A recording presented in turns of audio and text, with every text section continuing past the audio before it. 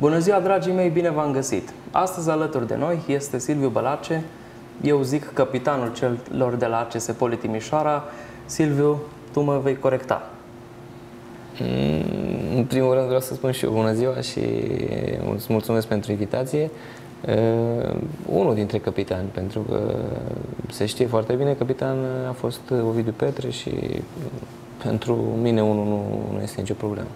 Când am sunat-o pe Cristina Cmeța să te invit la emisiune, pentru că nu aveam numărul tău de telefon, i-am zis, mai vreau să-l invit pe Silviu Bălace la emisiune, capitanul. Și mi-a spus, păi nu e capitanul. Zic, nu e problemă, pentru mine, eu tot timpul l-am privit ca un capitan în teren, pentru că chiar dacă nu aveai banderola pe mână, în teren îți făceai treaba la fel ca un capitan.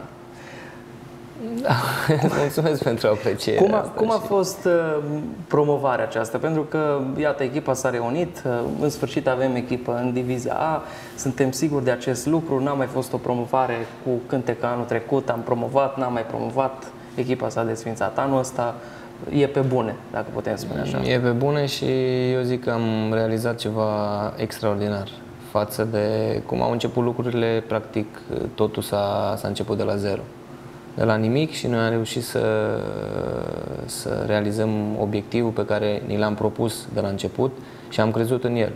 Pentru că eu atunci când am venit de la Severin chiar am crezut, chiar am fost uh, foarte optimist și asta am mai vorbit și, și cu colegii mei. Chiar uh, acum spre final uh, vorbeam, ce bă, chiar ne-am, ne-am, ne culcam cu promovarea în cap și ne trezeam cu promovarea în cap, pentru că am crezut foarte mult în, în realizarea acestui lucru, văzând și multe voci în oraș care nu, nu credeau în noi. Și le-am dat așa un pic peste nas celor care nu, nu au crezut în valoarea noastră. Am demonstrat că am format o echipă foarte bună, o echipă uh, unită, cu jucători valoroși, Eh, care și-au făcut treaba de la începutul campionatului până, până la sfârșit și uite că am reușit să, să ducem echipa în, pe prima scenă a fotbalului. Pentru mine eh, era așa ca și o eh, revanșă de luat față de, de Timișoara. Așa am crezut eu în momentul când am plecat la Dinamo, că am făcut o mare greșeală și vroiam cumva să, să mă revanșez față de, de acest lucru, față de suporterii noștri, de galeria care, pe care o aveam atunci, uh, pentru că m-au contestat foarte mult și eu am vrut să, să fac ceva să, să mă revanșez față de, de acest lucru. Din păcate, nu am mai întâlnit acea galerie uh, pe care am lăsat-o atunci când am plecat, dar uh, îmi doresc din suflet să, să revină pe stadion. Crezi că vor reveni, reveni odată cu intrarea în prima ligă? Nu știu. Dacă nu galeria, vreau. măcar masa, acea masă mare de care vorbește toată lumea, cei 10, 20 de mii, 30 de mii de oameni care nu s-au orientat deocamdată nici către ASU din Liga 5, nici către ACS din Liga 1. Mm, cred că vor veni. Depinde de meciurile pe care le vom face noi, de parcursul nostru în campionat. Cred că ușor, ușor vor veni. Cel puțin cred la meciurile cu echipele mai puternice, așa este mai puternice din campionatul nostru, cred că, cred că vor veni. Dar cel mai mult, am zis de fiecare dată, cel mai mult contează uh, jocul nostru pe care, pe care îl practicăm în, în meciul respectiv și atunci omul dacă vede că noi facem tot posibilul să, să câștigăm acel meci, chiar dacă poate câteodată nu o să se întâmple asta, cred că o să-i atragem să vină ușor, ușor spre, spre stadion. Pe cine îți dorește în prima etapă? Da, mai, mi s-a mai pus întrebarea asta. Oricine, pentru că vom juca cu toate echipele, nu? Mai devreme sau mai târziu vom juca și cu Steaua și cu Dinamo. Deci nu, chiar nu am nicio preferință. Ți-ai dori un, un început de campionat mai lejer, cu echipe uh, mai modeste, dacă pot să spun așa, și după aceea să, să aveți derbiurile cu Steaua, cu Dinamo? Nu, mi-aș dori un cam început de campionat echilibrat. Și cu echipe mai slab codate și cu echipe bune, ca să spunem așa. Deci să fie un, un echilibru practic pe tot parcursul campionatului și tur și retur. Cum a fost revenirea la Timișoara? A fost ca un vis pentru mine. Chiar vorbeam și cu familia. Era o dorință pe care am avut-o de mult și în perioada când eram la Vaslui am mai, au mai fost câteva tatonări, chiar am vrut să vin uh, fără niciun ban, o perioadă de timp, numai ca să, să, să scap de acolo și să, să reușesc să ajung aici. Dar, din păcate, Uh, mi s-au închis așa un pic ușile, dar asta e viața. Revenind la uh, uh, revenirea asta a mea acasă acum chiar a fost ca un vis. M-am trezit la, pentru că s-a întâmplat totul foarte repede și m-am trezit atunci când a început turul campionatului pe teren la derby cu UTA. Meci cu UTA, meciul cu UTA am și debutat la Timișoara în prima ligă tot la UTA, unde am câștigat cu 1-0 după cum se știe foarte bine. Și acum când m-am trezit, așa, eram puțin debusolat. Uite că mi s-au întâmplat niște lucruri într-o perioadă foarte scurtă. Să revin acasă, alături de familie, să revin uh, la poli și să redebutez la poli într-un meci, într-un derby cu, cu UTA, chiar dacă a fost în, în Liga a doua. Deci a fost ceva extraordinar. Așa în concluzie. În ultima vreme se vorbește foarte mult despre transferuri la poli.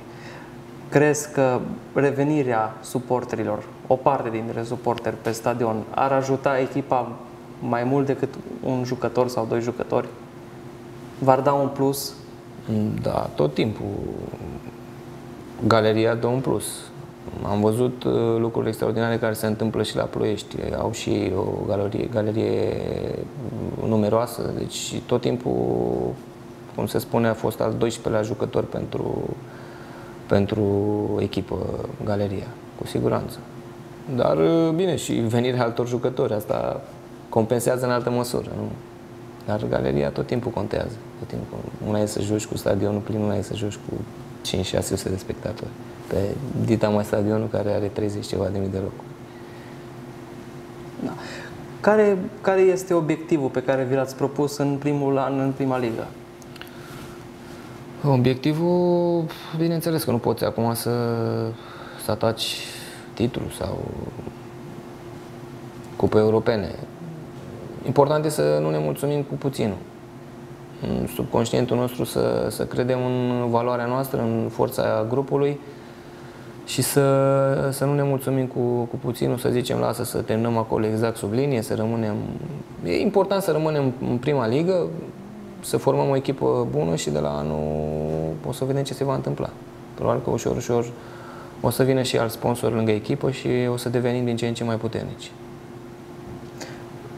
În vara anul trecut, pe vremea asta, când uh, s-a constituit ACS Poli după fuziunea Recașului cu Timișoara, a venit echipa de la Recaș, uh, mai precis, mulți spuneau că echipa nu va rezista, nu va rezista nici în a doua ligă. Tu ai crezut în acest lucru din start? Da, am crezut din start, exact asta ți-am spus și la Credeai că întrebare. veți promova din primul an? Da, pentru că de asta am și venit și cu gândul ăsta la primele discuții care le-am avut cu cei din conducere, chiar cu gândul ăsta am venit și era, ți-am spus și la început am fost, am fost foarte optimist că vom reuși promovarea. Nici nu mă gândeam să nu, să nu se întâmple acest lucru. Care a fost factorul decizionar? De ce Poli? De ce Timișoara? De ce am venit eu? Da. A, e clar. Ți-am spus, mi-am dorit foarte mult, mi-am dorit mai de mult să, vin, să revin înapoi acasă. Familia mi era aici și eu fotbalul l-am reînceput să-l joc la un nivel înalt la Timișoara și era normal să vin la Poli. Cu Poli, practic, cu Poli am renăscut din nou pentru fotbal. Pentru că am avut o perioadă după 18 ani în care am avut o accidentare mai gravă, am stat aproape un an de zile în afara terenului, mi-am pierdut toată susținerea cu toate că eu în viața mea de, de fotbalist nu prea am avut așa susținere și împingere de la spate, dar atunci căpătasem un pic cât eram la Craiova, eram văzut foarte bine și după acea accidentare am avut o pantă mai uh, așa joasă pentru mine. Și la poli am renăscut practic și normal să, să-mi doresc foarte mult să revin acasă. Cine te-a susținut cel mai mult în cariera de jucător?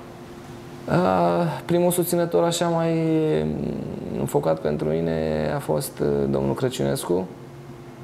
Venise președinte la Craiova și dânsul m-a susținut, m-a susținut așa foarte mult. Chiar m-a trimis și la operație atunci când m-am accidentat, m-a trimis în Franța, ceea ce pe vremea aia era na, o lucru mare să ajungi să te operezi în, în străinătate. Vorbim de anul 97. 97. Da. Și acum 10 ani era lucru mare să, să mergi să Da, te dar tratezi mai ales în atunci. străinătate. Știi, pentru mine și din cauza asta am mers, pentru că dânsul m-a susținut și dânsul m-a trimis acolo la Marseille, la Marseille unde m-am, m-am și operat. Iar după aia domnul Doboș, în perioada când am fost la, la Rocar, cred că i-a plăcut de mine ca și jucător și țin minte că și atunci când am venit la Timișoara, dânsul, i-am dat un telefon și a zis, da, Silviu, cum să nu vin aici și vedem ce se întâmplă. După care a venit antrenorul domnul Panduru, care, după părerea mea, a fost un om foarte corect și a format a, Ideea lui era să, să joace jucătorii care se pregătesc foarte bine și care își respectă meseria de fotbalist. Și asta pe mine chiar m-a, mi-a, mi-a dat așa o bună încredere. În rest, mai puțin așa susținători în toată cariera mea. Mai mulți care mi-au făcut așa, mulți au fost care mi-au făcut rău decât, decât bine. Dar sper că de acum înainte, odată cu revenirea acasă, să... Cu toate că eu de fiecare dată mi-am făcut, mi-am făcut treaba și mi-am, mi-am respectat meseria nu 100%, milion la milion. Dar am avut puțini oameni care au apreciat lucrul ăsta. Probabil că aici, în România sau în fotbalul din, din, din țara noastră trebuie să fie un pic altfel ca să fie apreciat. Dar eu nu mi-am schimbat niciodată linia pe care am mers și nici de acum înainte nu, nu să mi-o schimb, indiferent ce se va întâmpla. Regreți un lucru anume pe care l-ai făcut în cariera de fotbalist? Eu știu, un transfer la o echipă, poate că ai refuzat o echipă, o ofertă la un moment dat. În primul rând regret că nu, nu mi s-a dat drumul să plec atunci la... Aici n-a fost greșeala mea să plec în Germania, unde am avut, pe vremea când eram la Timișoara, am avut oferte de la Cottbus. După care regret că uh, am cedat la presiunile conducerii, care după o jumătate de an, după ce nu mi-au dat drumul să plec la Cottbus, uh, m-au pus pe lista de transferări și m-au obligat cumva să ajung la, la Dinamo. Și regret că am cedat presiunilor lor să plec, pentru că aveam contract 4 ani, încă 4 ani jumate cu Timișoara și trebuia să rămân aici, cu toate că mi s-a spus că nu o să mai joc, că o să mă duc la echipa a doua. Și atunci, probabil, fiind și eu un pic pe val, am zis, ok, dacă voi mă dați, lasă că o să plec și eu acolo unde vreți voi.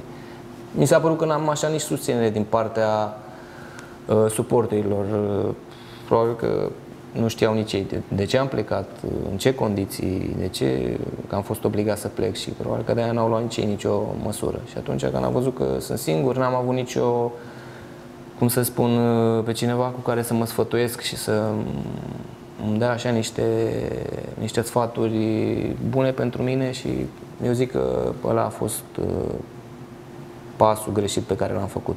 După care da, plecarea la Vaslui, care nici ăla n-a fost așa, dar nu mai contează. Asta e cel mai mare regret, ca să spun așa. Și uh, regretam, mă gândeam eu așa acasă, regretam că nu, nu am câștigat niciodată împotriva lui Dinamo cât am fost la Timișoara, că știu cât, cât ură era împotriva lor și cum se mobiliza întreg orașul pentru meciul cu Dinamo și uite chiar n-am, n-am reușit să câștigăm, dar uite că viața mi-a dat încă o șansă să, să revenim în Liga 1, să revin la Timișoara și de ce nu cu o victorie de ce nu cu o victorie împotriva Dinamo? celor de la Dinamo? În perioada 2003-2007 ai jucat prima dată la Timișoara, dacă nu mă înșel. Da. Erai numit de suporter Nedved din Banat. Da, tot timpul am zis că mi-a plăcut această apreciere și, și suporterii și presa, dar eu ce puteam să spun? Tot timpul am rămas cu picioarele pe pământ și nu m-am comparat. El Nedved a fost un jucător extraordinar. Nu pot eu să, să mă compar cu el. Dar... Totuși n-a vrut să schimbe tricou cu tine în meciul cu da. E încă un regret așa mai, mai mic pentru mine. Pe cine ai avut uh, ca model dintre jucători? Să știi, atunci când eram mai tânăr, nu prea am avut așa un model anume. După aia, cu timpul, mi-a plăcut vorbeam mai devreme de comparație Nedved, mi-a plăcut Toti, uh, mi-a plăcut Zanetti, care, uite ce, ce viață lungă ca și, și fotbalist fotbal are formidabil, da. extraordinar pentru mine și el și Paul Scholes în Anglia. Ryan Giggs, de asemenea, ceva de la Manchester. Extraordinar. Niște jucători exemplari care modelele astea trebuie să, să le privească cei mai tineri, să le aibă în, în fața lor, nu alte lucruri. Ei în calcul o carieră vorbind de longevitivitate ca jucător. Se duce aproape de 40 de ani, Mm, eu încă mai am uh, acum 2 ani de contract cu Timișoara și vedem ce se întâmplă după. Nu pot să vorbesc, nu știu ce se va întâmpla după. Normal, când doresc foarte mult să, să continui cariera de jucător pentru că ăsta e cel mai frumos lucru. În rest de alte lucruri pe care le, le voi face după, am timp să le fac toată viața, dar uh, odată ce te-ai oprit din fotbal nu poți să mai revii și îți dai seama că o să fie regrete, dar vreau să, să mai prelungesc atâta timp cât sunt sănătos și duc o viață uh, de sportiv uh, bună, de ce să nu, să nu prelungesc această carieră? Cu toate că sunt voci și na, nu mai cred că numai la noi se întâmplă când auzi ce strigă de prin tribună, lasă-te, pune ghetele în cui, dar nu vin să vadă ce fac eu zi de zi la antrenamente și ce am făcut în, în viața mea de, de fotbalist. Dar ăștia sunt oamenii Câteodată mă mai, mă mai supără, dar uh, asta e viața, ne-am ales-o și uh, mergem înainte. Așadar, uh, infirmăm orice zvon că Silviu s-ar retrage și că ar merge în conducerea clubului.